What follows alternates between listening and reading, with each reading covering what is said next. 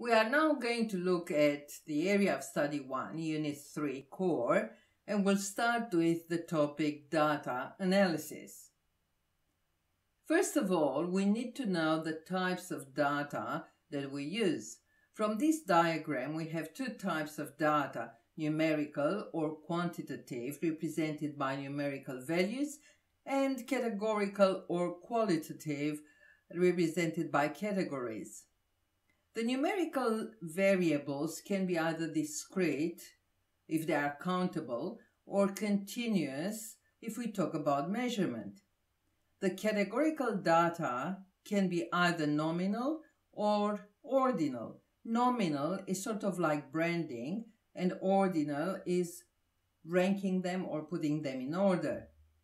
As a rule of thumb, if you can calculate the mean of the data, then the data is numerical. Categorical data can also be written in number form, and here are some examples. House numbers, phone numbers, date of birth, postcodes. As a note, shoe size is considered a numerical discrete variable.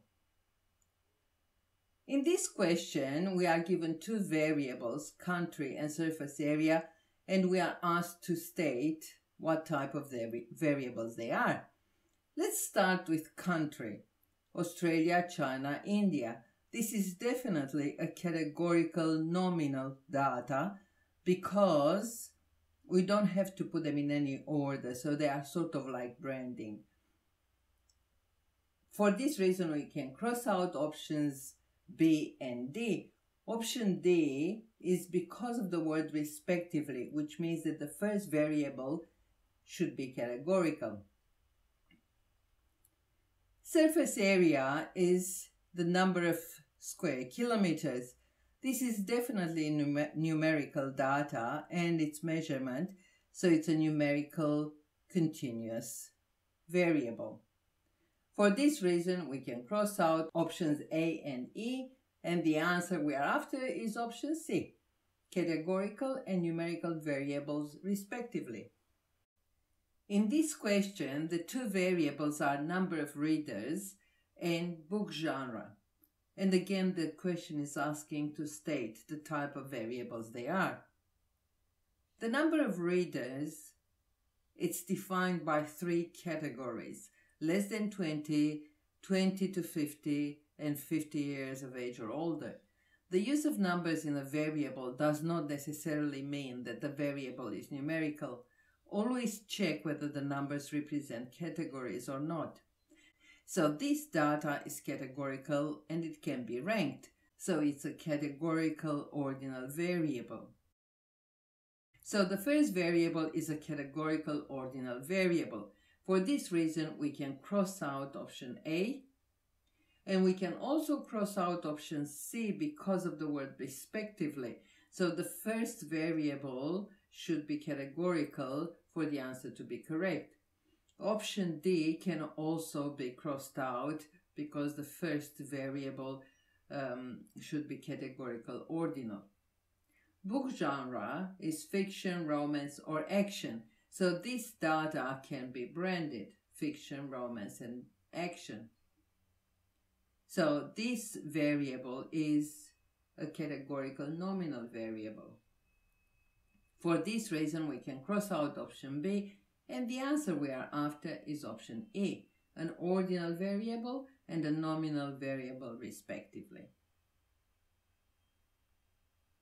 In question 3, we have five sets of variables. And the question is asking for the number of numerical variables in this set of data. So let's start with gender gender of each teacher, male or female. So this is definitely categorical nominal. Subject, number of subjects taught. One, two, three. Now this is countable, which means it's numerical discrete.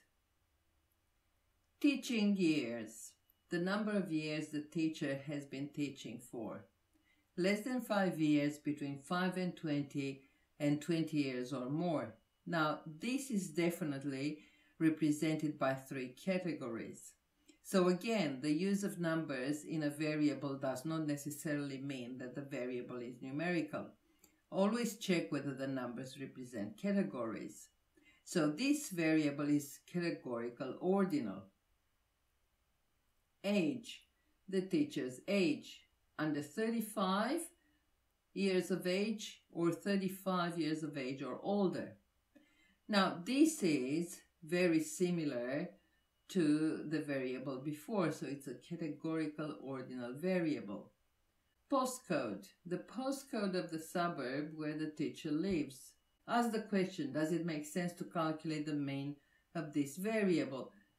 In this case, it doesn't, which means that this is a categorical ordinal variable. So the answer we are after is option B, 1. You can have a look at these five questions from the VCE examinations, especially the last three where the percentage of students who had the correct answer is very low. So check the examination report for these three questions.